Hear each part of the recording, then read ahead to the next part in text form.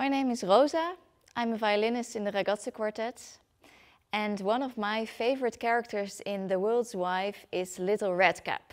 Carol Ann Duffy uh, created a whole new perspective on Little Red Riding Hood. She's now called Little Redcap. And she isn't the young, vulnerable child that we know.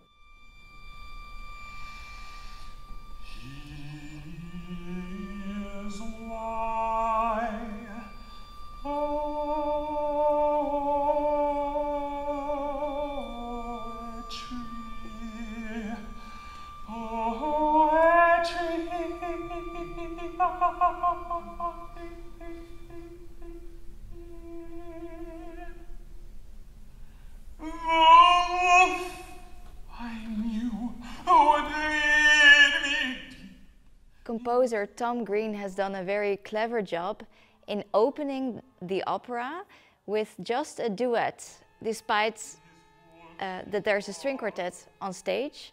Uh, the first movement uh, begins with just violin and voice. And it's a very pure dialogue between uh, voice and the lyrics versus the in instrumental voice of the violin. What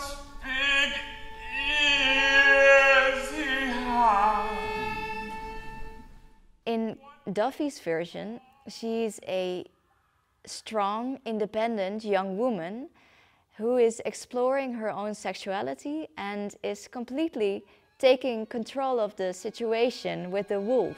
Being a female musician myself, uh, this new version is one to admire.